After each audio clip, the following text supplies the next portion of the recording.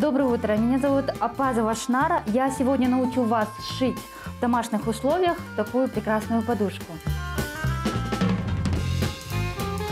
Для этого нам надо ткань, а, примерно берем 40 на 40. Узор готовый, вырезанный очень аккуратно. Узоры можете найти в интернете, а, сейчас очень много. А, нитки, бахрома, жгуты и машинка. Начинаем. Накладываем узор, чтобы аккуратно, чтобы так красиво все получилось. И приступаем к шитью.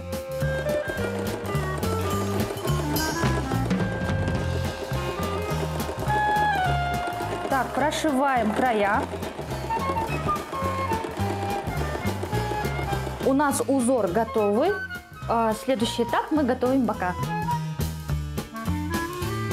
Берем материал и ре- режем бока. Теперь пришиваем.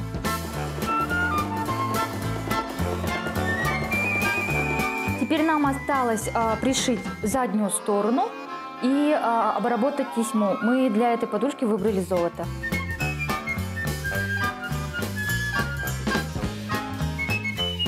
У нас подушечка почти готовая. Осталось э, только ее заполнить. У нас подушечка уже готовая. Как вы убедились, а, сшить подушку очень легко. Надеюсь, мои советы вам помогли. С вами была Апазова Шнара, специально для Жана Кун.